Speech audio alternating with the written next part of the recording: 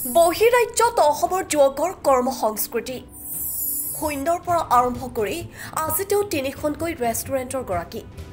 স্বাৱলম্বিতাৰ অনন্য নিদৰ্শন এডাল শিক্ষিত ভাই ককাই। নিজে তৈয়াৰ কৰা সুস্বাদু খাদ্যৰে হৃদয় জিনিছে অসমৰ লগতে মহাৰাষ্ট্ৰবাসীৰ। কৰ্মবিমুখী বহু নিবনুৱাৰ বাবে আনিছে আশাৰ বতৰা। অসমৰ পাছত মহাৰাষ্ট্ৰত দ্বিতীয়খন নতুন ৰেষ্টুৰেণ্টৰ শুভাৰম্ভণি। উৰুষা পজাৰ সপোন আজি প্ৰাপ্তবয়স্ক হ'ল। বহু প্ৰত্যাহ্বানৰ পাছতো জীৱন সংগ্ৰাম অব্যাহত ৰখা এডাল শিক্ষিত ভাই ককাই। কৰ্ম সংস্কৃতিৰে স্বাৱলম্বিতাৰ নিদৰ্শন দেখুওৱা চাৰি শিক্ষিত ভাই ককাই সকলোৰে প্ৰেৰণা আৰু আদৰ্শ হৈ পৰিছে।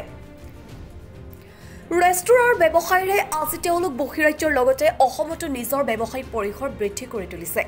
সীমিত পৰিকল্পনাৰে শূন্যৰ পৰা আৰম্ভ কৰা শোণিতপুৰ জিলাৰ ঠেলামৰাৰ এইজন শিক্ষিত যুৱক হৈছে নিচা মালিক।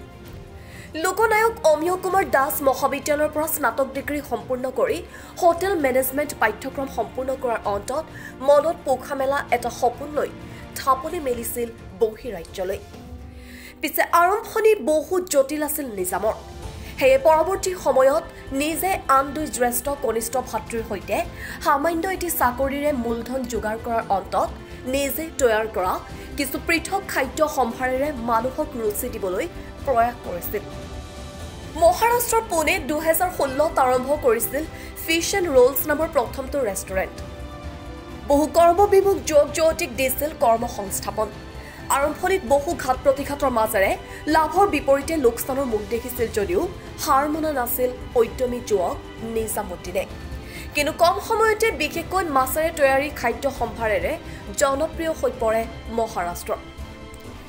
ইয়াৰ পৰৱৰ্তী সময়ত আন এজন কনিষ্ঠ ভাতৃক ফিছ এণ্ড ৰোলছৰ মহাৰাষ্ট্ৰৰ মূল ৰেষ্টুৰেণ্টৰ দায়িত্ব অৰ্পণ কৰি দুহেজাৰ বাইছত নিজেই মাতৃভূমি অসমৰ তেজপুৰতো আৰম্ভ কৰে ফিছ এণ্ড ৰোলছৰ আন এখন ৰেষ্টুৰেণ্ট। ৰেষ্টুৰেণ্টখন আৰম্ভ কৰি আন বহু নিবনুৱাৰ বাবে লৈ আনিছে আশাৰ বতৰা। ব্যতিক্ৰমী খাদ্য সম্ভাৰৰ এই ৰেষ্টুৰেণ্টখনৰ জনপ্ৰিয়তাৰ প্ৰতি লক্ষ্য ৰাখি অলপতে পুনৰ মহাৰাষ্ট্ৰত আন এখন নতুন ৰেষ্টুৰেণ্টৰ মুকলি কৰা হয়। পুনেৰ ডি চি পি মিথেশ ঘটে মুকলি কৰা শুভাৰম্ভণি অনুষ্ঠানত উপস্থিত আছিল মিছ ইউনিভাৰ্ছ দুহেজাৰ ঊনৈছ তথা আৰক্ষী বিষয়া প্ৰেমা পাটিল আৰু পুনেৰ বহু আৰক্ষী বিষয়া তথা বিশিষ্ট লোকসকল। এনেদৰে এতিয়া চাৰি ভাই ককায়ে নিজৰ ব্যৱসায়িক পৰিসৰ বৃদ্ধি কৰি তুলিবলৈ সক্ষম হৈছে। আনলৈ বাট নাচাই নিজেই স্বাৱলম্বী হোৱাৰ উপৰিও আন বহুজনকো কৰ্ম সংস্থাপন দিয়া এই চাৰি ভাই ককাই এতিয়া সকলোৰে আদৰ্শ হৈ পৰিছে।